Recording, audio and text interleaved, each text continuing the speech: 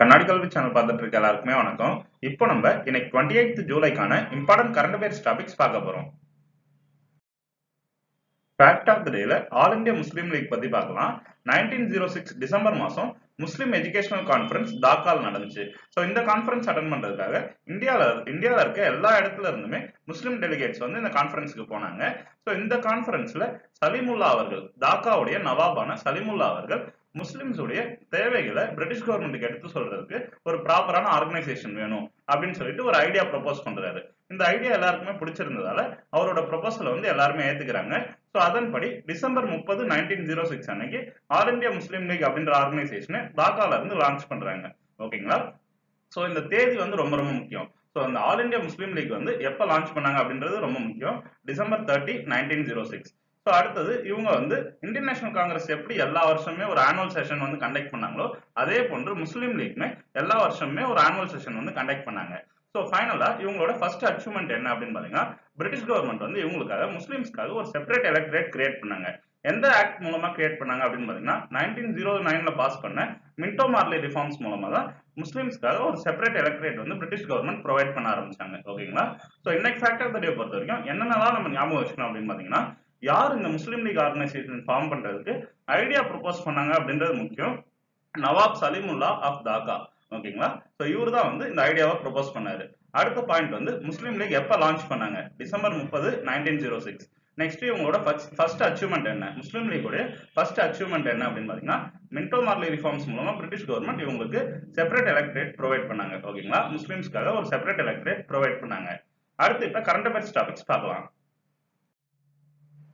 Current அஃபேர்ஸ்ல இன்னைக்கு முதல் டாபிக்கா வேர்ல்டு ஹெப்பாட்டிட்டிஸ் டே பத்தி பார்க்க போறோம் ஓகேங்களா ஸோ முதல்ல ஹெப்பாட்டிட்டிஸ்னா என்ன அப்படின்றது சொல்லிடுறேன். ஹெப்பாட்டிட்டிஸ்னா ஸோ இது வந்து லிவர் இருக்கு இல்லைங்களா? நம்ம பாடியில லிவர் அப்படின்ற ஒரு பார்ட் இருக்கு இல்லைங்களா? அந்த லிவர் வந்து இன்ஃபிளமேட்டரி கண்டிஷன்ல ஆயிடும் ஓகேங்களா ஸோ லிவர் வீங்கிடுங்க ஓகேங்களா ஹெப்பாட்டிட்டிஸ் வந்துச்சுன்னா. ஸோ ஹெப்பாட்டிட்டிஸ் எப்படி வரும் அப்படின்னு பாத்தீங்கன்னா ஹெப்பாட்டிட்டிஸ் பி வைரஸ் ஓகேங்களா ஒரு வைரல் இன்ஃபெக்ஷன் இது ஆக்சுவலா ஓகேங்களா இதுல நிறைய டைப் இருக்கு. ஆனா மோஸ்ட் காமன் டிசீஸ் என்ன அப்படின்னு பாத்தீங்கன்னா ஹெப்பாட்டிட்டிஸ் பி வைரஸ்னால வர அந்த ஹெப்பாட்டிட்டிஸ் நோய் தான் ரொம்ப மோஸ்ட் காமன் ஓகேங்களா ஸோ இப்போ பாத்தீங்கன்னா இன்றைய தினம் டுவெண்ட்டி எயிட் ஜூலை உலகம் ஃபுல்லா வேர்ல்ட் ஹெப்பாட்டிஸ் டே அப்படின்னு அனுசரிக்கிறோம். ஸோ இந்த தினத்தை வந்து அனுசரிக்கிறோம் அப்படின்னு பாத்தீங்கன்னா உலகத்துல இருக்க எல்லா மக்களுக்குமே ஹெப்பாட்டிட்டிஸ் நோய் பார்த்தீங்கன்னா அவேர்னஸ் கொண்டு போய் சேர்க்கணும். இந்த நோயை வந்து எப்படி ப்ரிவென்ட் பண்ணலாம் எப்படி டயக்னாஸ் பண்ணலாம் என்னென்ன மாதிரி ட்ரீட்மெண்ட்லாம் இருக்குன்ற அவேர்னஸ் வந்து எல்லா மக்களுக்குமே கிரியேட் பண்ணும் அப்படின்றதுக்காக தான் வேர்ல்டு ஹெல்த் ஆர்கனைசேஷன் வந்து இந்த டுவெண்ட்டி எயிட் ஜூலைல எல்லா கண்ட்ரியுமே வேர்ல்டு ஹெப்பாட்டிட்டிஸ் டே அனுசரிக்கலாம் அப்படின்னு சொல்லிட்டு டிசைட் பண்ணாங்க. ஓகேங்களா எதனால இந்த பர்டிகுலரா டுவெண்ட்டி எயிட் ஜூலை செலக்ட் பண்ணாங்க அப்படின்னு பாத்தீங்கன்னா டாக்டர் பருச் ப்ளூம்பர்க் அவர்கள் இவர் தான் வந்து ஹெப்பாட்டிட்டிஸ் பி வைரஸை கண்டுபிடிச்சவர். இவர் அது மட்டும் செய்யலைங்க. இவர் வந்து நோபல் பிரைஸ் வின்னரும் கூட. எதனால அப்படின்னு பாத்தீங்கன்னா இவர் வந்து ஹெப்பாட்டிட்டிஸ் பி வைரஸ்க்கான வேக்சின்லாம் கூட தயாரிச்சிருக்காரு. ஓகேங்களா? அவருடைய பர்த் ஆனிவர்சரியான டுவெண்ட்டி எயிட் ஜூலை தான் நம்ம வந்து வேர்ல்டு ஹெப்பாட்டிட்டிஸ் டே அப்படின்னு அனுசரிக்கிறோம். ஸோ இப்போ பாத்தீங்கன்னா இந்த வருஷத்துக்கான தீம் என்ன அப்படின்னு பாத்தீங்கன்னா invest in eliminating hepatitis next பார்க்கலாம்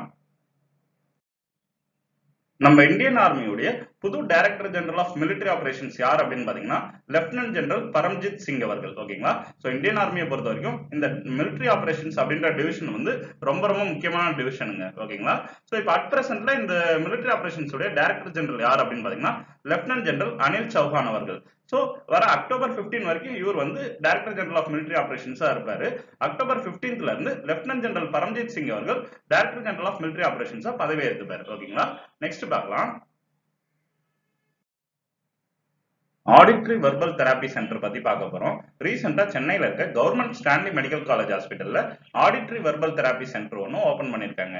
என்ன பர்பஸ்க்காக ஓப்பன் பண்ணியிருக்காங்க அப்படின்னு பார்த்தீங்கன்னா எந்தெந்த குழந்தைங்களுக்குலாம் ரீசெண்டாக காக்லியர் இம்ப்ளான்ட் சர்ஜரி நடந்திருக்கோ ஸோ அந்த குழந்தைங்களுக்குலாம் ட்ரைனிங் கொடுக்கறதுக்காக தான் இந்த சென்டர் ஓப்பன் பண்ணியிருக்காங்க காக்லியர் இம்ப்ளான்ட்ஸ்னா பேசிக்கா இது வந்து ஒரு எலக்ட்ரானிக் டிவைஸுங்க ஓகேங்களா ஸோ இப்போ யார் யாருக்கெல்லாம் ஹியரிங் லாஸ் இருக்கோ அந்த ஹியரிங் லாஸை சரி பண்றதுக்காக காதில் ஒரு ஆப்ரேஷன் செஞ்சு இந்த எலக்ட்ரானிக் டிவைஸை பொருத்திடுவாங்க. ஓகேங்களா ஸோ இப்போ எக்ஸாம்பிளுக்கு வந்து இப்போ நம்ம எலும்பு முறிவு இருக்கு இல்லைங்களா? கையில் காலில் வந்து போன் ஃப்ராக்சர் ஆகுதுன்னா ஸோ அந்த ட்ரீட்மெண்ட் எடுத்ததுக்கு அப்புறம் பண்ணுவாங்க இல்லைங்களா? அதே மாதிரி தான் காக்லியர் இம்ப்ளான்ட் சர்ஜரிக்கு அப்புறமும் ப்ராப்பரான ட்ரைனிங் கொடுத்தாதான் அந்த சர்ஜரி வந்து சக்ஸஸ்ஃபுல்லாக முடியும் ஓகேங்களா அதனால தான் இப்போ ஸ்பெசிஃபிக்காக எந்தெந்த குழந்தைங்களுக்குலாம் இந்த காக்லியர் இம்ப்ளான்ட் சர்ஜரி நடந்திருக்கோ அவங்களுக்குலாம் ட்ரைனிங் கொடுக்கறதுக்காகவே இந்த auditory verbal therapy centre Stanley medical காலேஜ்ல ஹாஸ்பிட்டல் ஸ்டான்லி மெடிக்கல் காலேஜ் ஹாஸ்பிட்டல்ல ஓபன் பண்ணிருக்காங்க நெக்ஸ்ட் பார்க்கலாம். ரீசெண்டா ஜிஎஸ்டி கவுன்சிலுடைய முப்பத்தி ஆறாவது மீட்டிங் நியூ டெல்லியில் நடந்து முடிஞ்சது. ஸோ இந்த மீட்டிங்ல என்ன டிசைட் பண்ணிருக்காங்க அப்படின்னு பாத்தீங்கன்னா எலக்ட்ரிக்கல் வெஹிக்கிள்ஸ் மேல இருந்து பன்னெண்டு பர்சன்ட் ஜிஎஸ்டி சார்ஜஸ் அஞ்சு பர்சன்ட் ஆக்கியிருக்காங்க. ஓகேங்களா ஸோ இதுக்கு முன்னாடி பன்னெண்டு பர்சன்டா இருந்துச்சு. இப்போ ரீசெண்டா நடந்த ஜிஎஸ்டி கவுன்சில் மீட்டிங்ல ஸோ இந்த எலக்ட்ரிக்கல் வெஹிக்கிள்ஸ் மேல இனிமேல் அஞ்சு பர்சன்ட் தான் டாக்ஸ் சார்ஜ் பண்ணும் அப்படின்னு சொல்லி டிசைட் பண்ணிருக்காங்க. ஓகேங்களா ஸோ இந்த ஜிஎஸ்டி கவுன்சில் மீட்டிங் வந்து ஸோ அட் பிரசன்ட் அஞ்சாம் தேதி வந்து ஜூலை அஞ்சாம் தேதி பட்ஜெட் பிரசன்ட் பண்ணாங்க இல்லைங்களா? யூனியன் பட்ஜெட் பிரசன்ட் பண்ணதுக்கு அப்புறம் நடக்கிற ஃபர்ஸ்ட் ஜிஎஸ்டி கவுன்சில் மீட்டிங் இதுதான் ஓகேங்களா நெக்ஸ்ட் பார்க்கலாம்.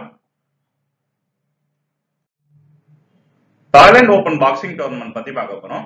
ரீசெண்டா இந்த டோர்னமெண்ட் எங்க நடந்துச்சு அப்படின்னு பாத்தீங்கன்னா தாய்லாந்துல இருக்க பேங்காக் சிட்டில ஸோ இந்த டோர்னமெண்ட்ல இந்தியா மொத்தம் எட்டு மெடல்ஸ் வின் பண்ணிருக்கோம் என்னென்ன மெடல்ஸ் அப்படின்னு பாத்தீங்கன்னா ஒரு கோல்டு மெடல் நாலு சில்வர் மெடல் மூணு பிரான்ஸ் மெடல் ஸோ யார் கோல்டு மெடல் வின் பண்ணாங்க அப்படின்னு பாத்தீங்கன்னா ஆஷிஷ் குமார் அவர்கள் ஓகேங்களா so seventy five KG men's கேட்டகரியில் ஆஷிஷ் குமார் அவர்கள் கோல்டு மெடல் வின் பண்ணிருக்காரு. இவர் யாரை தோக்கடிச்சார் ஃபைனல்ஸ்ல அப்படின்னு பாத்தீங்கன்னா கொரியாவை சேர்ந்த கிம் ஜின்ஜே அவர்களை தோக்கடிச்சார் ஓகேங்களா ஸோ கோல்டு மெடல் யார் வாங்கினாங்களோ அவங்க பேர் வந்து நல்லா ஞாபகம் வச்சுக்கணும் ஓகேங்களா தாய்லாந்து ஓபன் பாக்ஸிங் டோர்னமெண்ட்ல யார் கோல்டு மெடல் வின் பண்ணிருக்காங்க? ஆஷிஷ் குமார் அவர்கள். நெக்ஸ்ட் பார்க்கலாம் கேலோ இந்தியா யூத் கேம்ஸ் ஈவெண்ட்டுடைய தேர்ட் எடிஷன் எங்க நடக்க போகுது அப்படின்னு பாத்தீங்கன்னா அடுத்த வருஷம் அஸ்ஸாம் மாநிலத்தில் இருக்க குவாஹாத்தி சிட்டியில் நடக்க போறதா நம்ம கண்ட்ரியுடைய ஸ்போர்ட்ஸ் மினிஸ்டர் அனௌன்ஸ் பண்ணிருக்காரு. ஸோ இந்த ஈவெண்ட்டை பொறுத்த வரைக்கும் கிட்டத்தட்ட பத்தாயிரம் அத்லெட்ஸ் வந்து பார்ட்டிசிபேட் பண்ணுவாங்க. ஸோ இந்த ஈவெண்ட்டை யார் ஆர்கனைஸ் பண்ண போறாங்க அப்படின்னு பாத்தீங்கன்னா Indian Olympic association school games federation of India மற்றும் அஸ்ஸாம் ஸ்டேட் கவர்மெண்ட் ஓகேங்களா ஸோ அஸ்ஸாம் தான் நடக்க போகுது. ஸோ அஸ்ஸாம் ஸ்டேட் கவர்மெண்ட்டுமே இந்த ஆர்கனை இந்த ஈவெண்ட் வந்து ஆர்கனைஸ் பண்ண போறாங்க. So Khelo India youth games ஈவெண்ட்டோடைய third edition எங்க நடக்க போகுது அஸ்ஸாம் மாநிலத்துல இருக்க குவாஹாத்தி சிட்டில. ஸோ இந்த கேம்ஸ் உடைய ஃபர்ஸ்ட் எடிஷன் லாஸ்ட் இயர் எங்க நடந்துச்சு அப்படின்னு பாத்தீங்கன்னா நியூ டெல்லியில் நடந்துச்சு. செகண்ட் எடிஷன் வந்து இந்த வருஷம் பூனேல நடந்துச்சு. மகாராஷ்டிரால இருக்க பூனே சிட்டியில் நடந்துச்சு. ஸோ இந்த கேம்ஸ் உடைய தேர்ட் எடிஷன் வந்து அடுத்த வருஷம் குவாஹாத்தியில் நடக்க போகுது. நெக்ஸ்ட் பார்க்கலாம். Current affairs question and answers பார்க்க போறோம். Question number one what is Garuda six answer guess பண்ணுங்க. ஆன்சர் பார்க்கலாம். கருடா சிக்ஸ்ன்றது இந்தியன் ஏர்ஃபோர்ஸ்க்கும் பிரெஞ்சு ஏர்ஃபோர்ஸ்க்கும் நடுவில் நடக்கிற ஒரு ஜாயிண்ட் ட்ரைனிங் எக்ஸசைஸ் எதனால கருடா சிக்ஸ் அப்படின்னு பேர் வச்சிருக்காங்கன்னா இந்த எக்ஸசைஸ் உடைய ஆறாவது எடிஷன் இந்த வருஷம் நடந்து முடிஞ்சிருக்கு.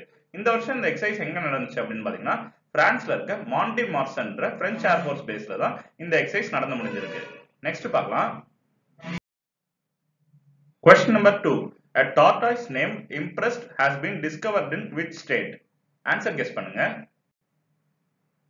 ஆன்சர் பார்க்கலாம். ஆன்சர் வந்து அருணாச்சல் பிரதேஷ் ஸ்டேட் ஓகேங்களா ஸோ ரீசெண்டா இம்ப்ரெஸ்ட் அப்படின்ற பேர் கொண்ட டாட்டாய்ஸ் வந்து அருணாச்சல் பிரதேஷ் மாநிலத்தில் கண்டுபிடிச்சிருக்காங்க. நெக்ஸ்ட் பார்க்கலாம். Question number three where was the recent international seed testing association congress held answer guess பண்ணுங்க. ஆன்சர் பார்க்கலாம். ஆன்சர் வந்து தெலுங்கானால இருக்க ஹைதராபாத் சிட்டி நெக்ஸ்ட் பார்க்கலாம். Question number four when was Asian development bank established answer guess பண்ணுங்க. Answer பார்க்கலாம். Answer வந்து nineteenth December nineteen sixty six ஓகேங்களா ஸோ ஏஷியன் டெவலப்மெண்ட் பேங்க் எப்போ எஸ்டாப்ளிஷ் பண்ணாங்க? Nineteenth December nineteen sixty six next பார்க்கலாம். Question number five the Asian development bank is headquartered in answer guess பண்ணுங்க. Answer பார்க்கலாம். Answer வந்து பிலிப்பைன்ஸ்ல இருக்க மணிலா சிட்டியில தான் ஏஷியன் டெவலப்மெண்ட் பேங்க் உடைய ஹெட் குவார்டர்ஸ் இருக்கு. ஸோ ஃப்ரெண்ட்ஸ் உங்க ஃபீட்பேக் வந்து கமெண்ட் செக்ஷன்ல கொடுத்துருங்க. இந்த வீடியோ உங்களுக்கு பிடிச்சிருந்தா லைக் பண்ணுங்க. உங்க மற்ற ஃப்ரெண்ட்ஸ்க்கு யூஸ்ஃபுல்லா இருக்கும் அப்படின்னு நினைச்சீங்கன்னா மறக்காம ஷேர் பண்ணுங்க. எங்க கண்ணாடி கல்வி சேனல் சப்ஸ்கிரைப் பண்ணுங்க. இந்த வீடியோ பார்த்துட்டு இருந்த எல்லாருக்குமே கண்ணாடி கல்வி டீம் சார்பா ரொம்ப நன்றி. அடுத்த வீடியோவில் சந்திப்போம்.